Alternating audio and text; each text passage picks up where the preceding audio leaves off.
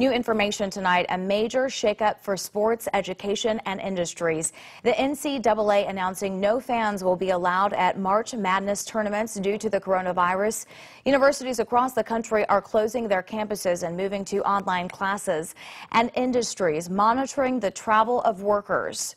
We have team coverage following these changes. We begin tonight with WAAY 31's Shosh Bedrosian. She is live at Redstone Arsenal. She spoke with the Director of Public and Congressional Affairs about procedures that they are following. Shosh. Naja, the Department of Defense and Centers for Disease Control and Prevention have issued travel health have issued travel health notices right now for Italy, China, South Korea, and Iran. And right now, the Redstone Arsenal is screening anyone who has traveled to those areas or been in contact with anyone from those areas as well.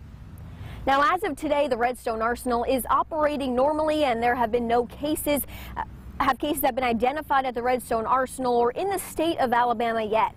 But with frequent travelers internationally and all around the United States coming to this base right here in Huntsville, the Arsenal is closely screening people who have a link to these four countries by monitoring them for 14 days.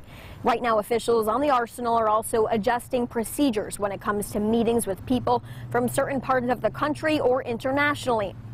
They said they've moved some of these in-person meetings to phone conferences. They're also meeting weekly with eight other organizations on the Arsenal and senior leaders every Wednesday on any update and plans if a case does arise here on the Arsenal. Now, if you have traveled to any of those four countries I, I have listed, those are restricted countries according to the CDC and Department of Defense or other high case areas in the United States and have either a fever, a cough, shortness of breath, officials advise you you to avoid contact with others and to call ahead to your doctor's office or emergency room if you're coming. Reporting live in Huntsville, Shosh Bedrosian, WAAY 31 News.